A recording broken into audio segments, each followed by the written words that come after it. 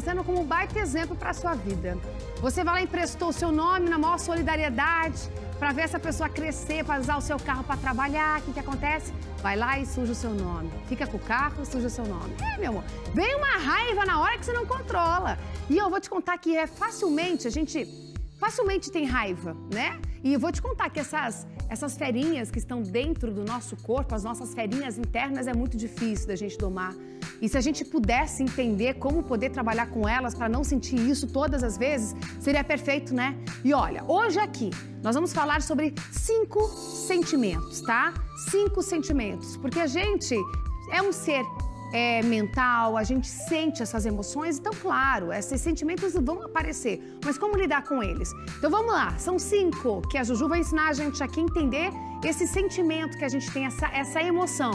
Vamos rodar aí, gente. É raiva, deixa eu ver, tem raiva, tem é, tristeza e muitas outras coisinhas mais, tá? Tem ansiedade também. Olha lá, produção. Vamos ver o que mais tem aí. Vamos colocar, tem a tristeza, um, é isso aí. A pessoa que tem também o mau humor, enfim, gente, aí, produção, chegou, querido! Horror, raiva, ansiedade, tristeza, medo. A nossa terapeuta emocional, Juliana Sidor, vai bater um papo com a gente aqui para você entender todas essas emoções. Sem, ó, sem medo. Tudo tem como contornar. Juju, seja bem-vinda, querida. Palmas para você, meu amor. Oh, delícia te ver aqui. Sente-se aqui. Bom, essas emoções, inclusive, estão aqui do nosso lado você vivencia elas no seu consultório todos os dias, porque não é só eu que tenho raiva nessa vida, não, né, minha amiga? Ah, com já certeza. jogo assim, já. Eu tenho sim, várias raivinhas aqui dentro, instauradas. Naturalmente. É isso somos nós, seres humanos, né, Ju? Se a gente tivesse uma fórmula mágica, uma receitinha de bolo pra gente não se estressar tanto, né? É, exatamente. Mas eu já quero começar hum. falando que toda emoção e sentimento, ela é atrelada a algo vivenciado lá atrás. Por isso que você foge ao teu controle. A emoção ela é uma reação orgânica, que você não tem esse domínio, mas nós temos que aprender a dominar. Porque no momento que ela toma conta de você, você perde a rédea. Perde totalmente. Sabe aquela história que a pessoa fala, fiquei cega de raiva com aquilo? Isso. Cega. E é um sentimento de que você quer matar alguém mesmo. É assustador. Então, assim, é pra gente parar e perceber que, no caso, a raiva, a tristeza, o horror, ele, é ele é uma emoção e não um sentimento. Sim, né? é uma emoção. Ó. Porque ele é bem mais complexo do que um sentimento e, assim, é, ele é momentâneo. Ah. Aquilo que te toma ali naquele momento e você realmente perde as estribeiras, como a gente diz, né? O sentimento, ele é algo mais duradouro uhum. e subjetivo. O que, que significa? É algo vivenciado somente por você. Entendeu? Pra, é, não. Não se delega ah, isso. Exatamente. E a emoção, ela todos conseguem, ela é observável. Você consegue perceber como a pessoa está naquele momento. E também ela é, ela é mutável. Por exemplo, hoje você levanta feliz da vida. Você nem sabe por quê. Amanhã, uma tristeza, um Profunda, desânimo. Só quer dormir, gente. Elas de fato vão ditando o ritmo da nossa vida. Que loucura. Quer ver a primeira? Eu tive muitas vezes medo na minha vida. Medo é um, uma emoção que muita gente não sabe segurar elas, por medo de várias coisas. Isso.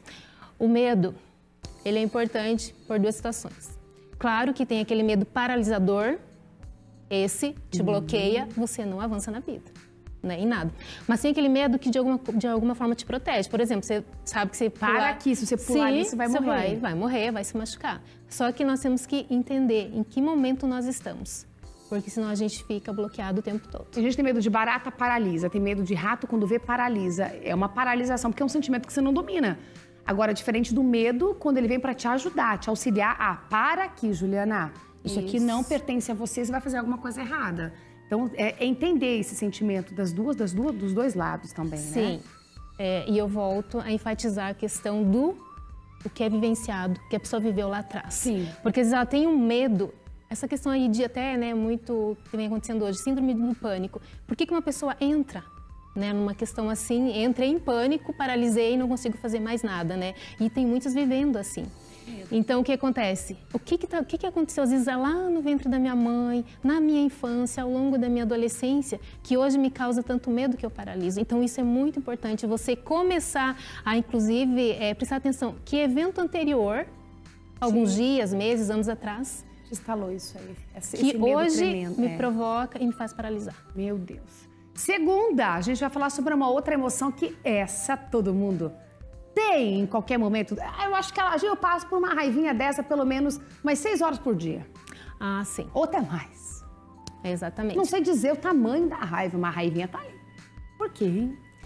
Sentir raiva é algo natural, desde que nada em excessivo que você perca o teu controle. Aí que entra a questão, como que eu controlo isso? E sempre atrelando, por que que tem pessoas que sentem, gente, mais raiva hum, sabe? Num nível assim hard, né? Ju? Exatamente. E aí, nesses casos, é muito importante, inclusive, claro, além da pessoa se observar a partir de hoje estão tendo essa informação, mas muitas vezes procurar sim um profissional também, né? Eu acho que eu preciso.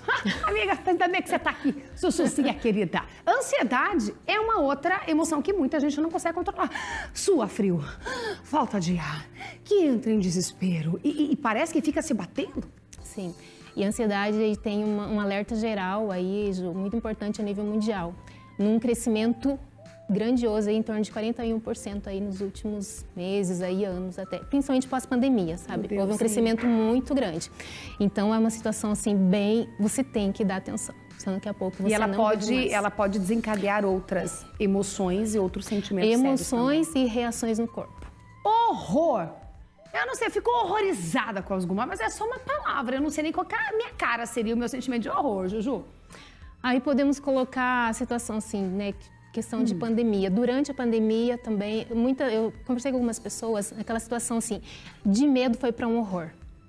Sabe? Ah, tá. Entendeu? É uma, um nível a mais, mais assim. É, exatamente. E muitas pessoas entraram em surto. Tá. E a tristeza, tá vendo como elas se conversam, né? Que interessante. Exatamente, a tristeza também. Sim. Eu tenho algumas tristezas ao longo do meu dia também. Nossa, como eu sou uma pessoa má. Não sou má, não, né, Ju? Não, não, não, de forma... Porque assim, eu tenho raiva, tenho tristeza, sou ansiosa às vezes. Porque nem tudo depende só de mim, das minhas escolhas e decisões. Isso que é um negócio, né? Exatamente. Né? Então a tristeza, ela faz parte, é uma emoção também que nos deixa...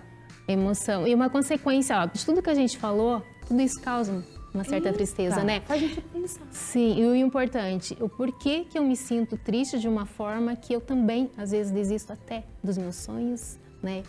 Tem pessoas desistindo da vida, né? E, voltando também àquela questão, por que que eu reajo assim? Você, às vezes, não vai conseguir controlar as emoções num todo, mas você consegue controlar o que você vai fazer a partir daquilo. Aí que está a questão. Como que eu vou reagir a tudo Ai, isso? meu Deus, calma. Vou fazer assim, ó. Eu quero te agradecer, Juju, pela tua participação. E falar que essas emoções, elas fazem parte da nossa vida. Quero trazê-la aqui mais uma vez pra gente falar sobre outras, outros sentimentos e emoções. Será um prazer. Inclusive sentimento e emoção, o que que é. E a gente vai para um, um break. Meu diretor falou, chama agora. E agora a gente tá chegando, produção. Tá chegando. Vou e volto rapidinho. Beijo pra vocês, tá?